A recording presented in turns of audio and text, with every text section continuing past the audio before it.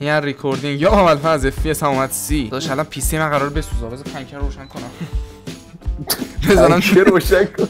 بزنم تو کیس.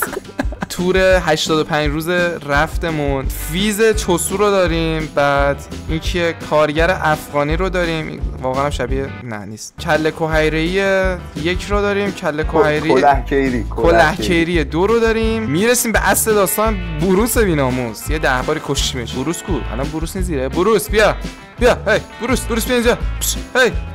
بروس در بعد پاچم. قاتل احمد رو داریم. این مرحله آخر زد. احمد کش بنده خدا. وایسا. نجات پرست رو داریم که چرا نجات پرسته اینو می‌بینی؟ این گیگانیگایی که سیاپوسته. این چون سیاپوس رو دوست نداره رفته سفید شده شده. خب اینجا آب میده بهمون. اینجا دیگه چیه؟ اینجا چست روممونه. اینجا بیشتر علی میچرخید. آره اینجا انجین منجینا رو دست علی بود. اینجا مگس ها رو برداشتیم زندانی کردیم. طبقه اول. آی تشنمه. میایم طبقه دوم. طبقه دوم یه توالت فقط درست کردیم. همین. همین؟ آره همین. دیگه چی داریم؟ اوه اوه اوه حاجی. ناخدا جان و خدا. ناخدا کیه؟ ناخدا من. علی چرا مثل یوبسا نشسته همینطوری؟ ای. یا من کلا ناخدایی دارم. منو ناکنید بنده بنده کلا تو بزن کلا رو عوض کن. همینطور کلا رو عوض کن. کلا کارگری خب. اینه. کارگر مظلوم. زیرا بقیه رو دراپ دادم نمی‌تونم بردارم. کجا دارم این مال منه.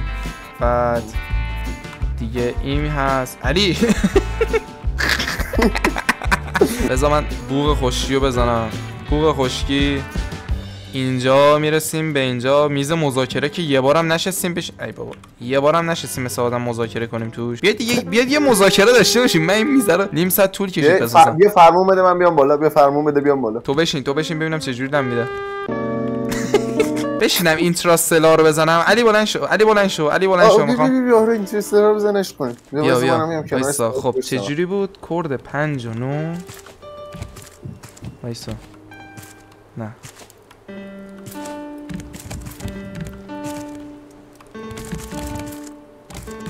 علی جا میشه فرض بوزه نکنی از آین لذت ساکت؟ چید